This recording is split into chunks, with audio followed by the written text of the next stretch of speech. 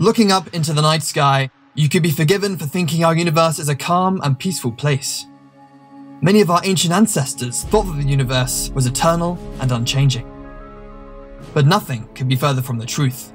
Our universe is constantly active, full of collisions and explosions. And you don't have to look far to see evidence of that. Many of the objects in our own solar system are covered in craters, the result of rocks from space smashing into the surface. One of the largest craters on our own planet, the Chicxulub crater, is a result of the asteroid that wiped out the dinosaurs.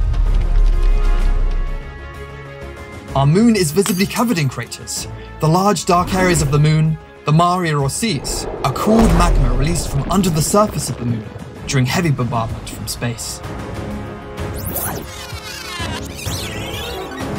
In fact, the moon itself is the result of a Mars-sized object smashing into the early Earth while it was still forming. The material left behind formed into the moon we see today.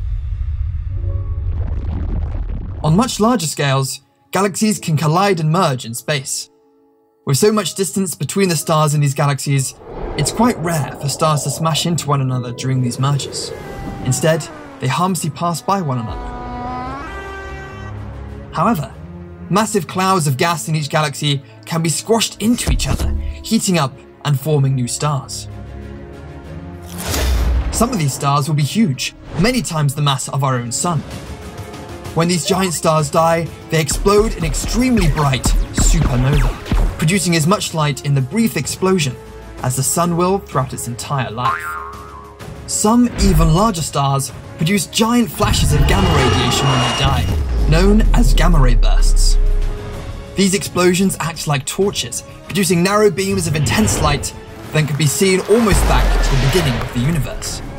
Almost as far back as the largest explosion of them all, the Big Bang, which formed our universe. Sometimes, collisions and explosions can even happen together. The leftover cores of two stars that exploded billions of years ago smash into one another, producing another huge explosion. Collisions on this scale cause space and time to wobble, an effect known as a gravitational wave. By watching the light from explosions with telescopes and detecting the collisions through gravitational waves, scientists can learn even more about our ever changing universe.